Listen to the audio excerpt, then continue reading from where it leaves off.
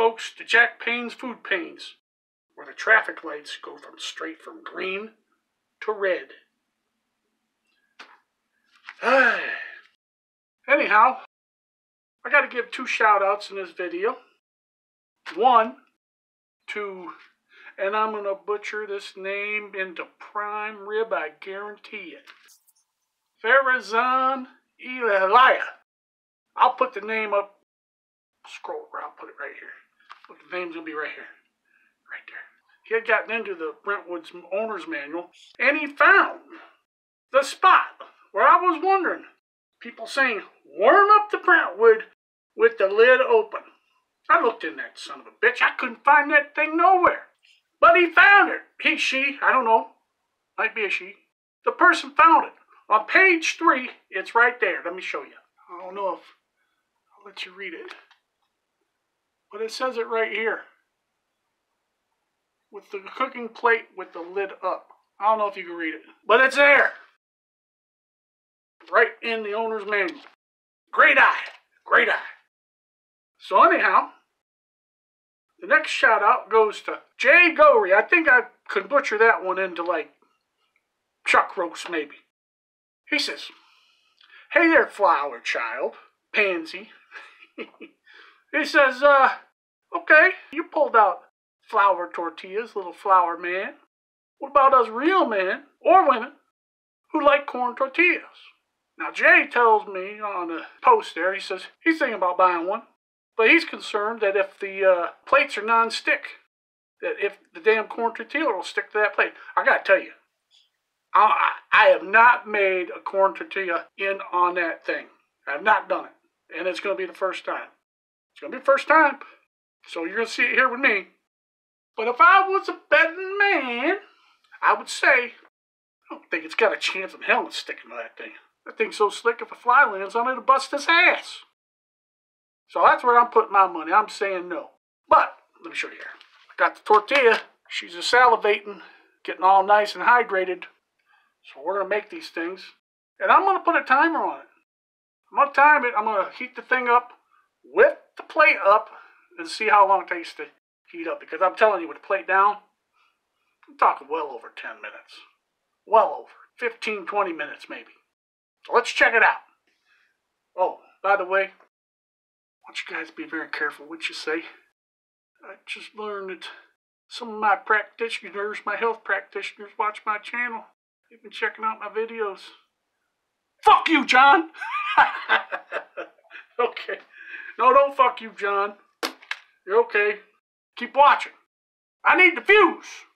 Tell your other practitioners, say, hey, watch this dumb fuck. Alright? Tell them. You! Tell them. Alright, let's get on this. Top's up, timer's on. I don't know if you can read the timer or not. Might be able to. It's reading 1 minute 11 seconds right now. So we're going to see how long it takes to heat up. Okay, I may not have spotted it, but the ready light is definitely on at 12 minutes 30 seconds. I think I heard it kick on at about 10 15. So it does make a difference. Heat it with the lid up. I don't know what the scoop is at, but eh, there's a difference. So just do it. Just do it. I got my dough balls rolled out. We'll bring them over and get them going. All right, these dough balls are at 60 grams. Most of them, there's two of them in there. It's 57. I think it's this one and this one. Come out a little light at the end, but that's okay. Get the camera set up and we'll fire off our first dough ball. Do as they say in the book. Mash it out by hand, like so. You look for cracks.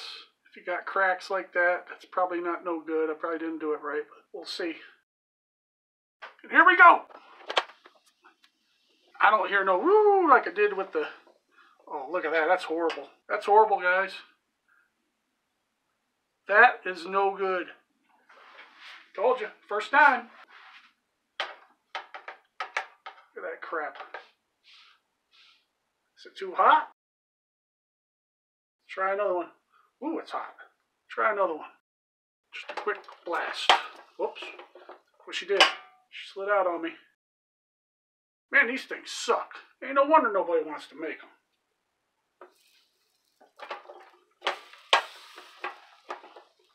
A little bit better. Still got some holes in it, but I'm learning. Got to be quicker on the draw. Plenty slick enough though. Look at that. Spin it around. Let's see if I get a flip on this. There are people actually complaining that I ain't using my fingers to do this. Oh! Why no? Oh! Good God! Look how junk these things are. I would love somebody show me the correct way to make these son of bitches.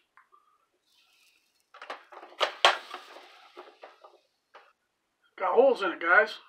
How in the hell do you get holes in your tortilla? Plenty slick enough. Got the flip. I put more water in than what the recipe said. That's plenty slick enough though. You don't have to worry about that getting stuck to that. I'll flip it over. We'll try to put this down on it. Definitely no lift of the raise of the lid. I just don't know how to tell when they're done.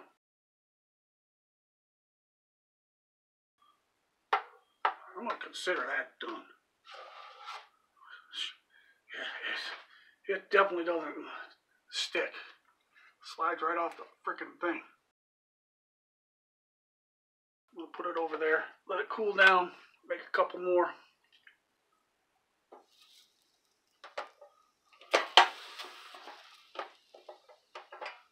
we go. It don't look too bad. It's crackly at the corners. Let me spin that around. You see that crackliness there? I don't think that's good for anything. I think it's just uh, too dry. Maybe I shouldn't let the dough rest. I don't know. A lot of steam coming off.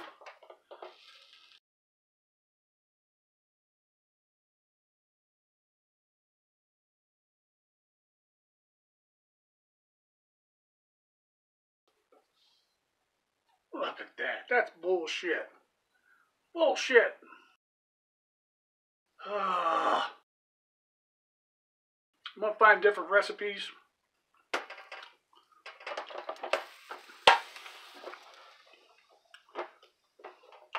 look at that. That one didn't come out too bad.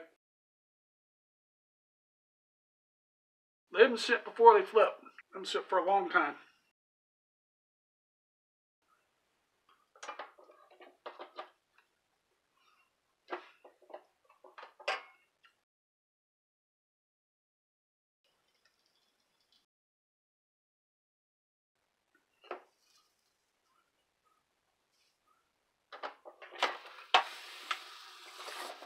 Whoa. Wow. Look at that. Exploded. How cool is that? Yeah. Ha ha ha. Okay. You definitely don't want to leave the lid down too long. Look. Exploded. I love it. Okay, here's the last one, folks. Let's apply what we've learned of this last one. First thing we learn, we close the lid, close it, and get it off as fast as you can. Just do it that quick. Boom, off. Okay. That we learn.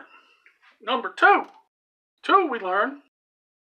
Let it cook for a long time on your first side. It's going to fall apart when you try and flip it if you don't. You know, I've, I've tried making corn tortillas in the past. Not on this thing, but on the cast iron, and they, they tend to fall apart. They're very fragile. Number three, you're not going to get the lift out of them like you do flour. I don't know, maybe with a different recipe, but I'm going to show you what I got after this one's done. You're going to be astounded.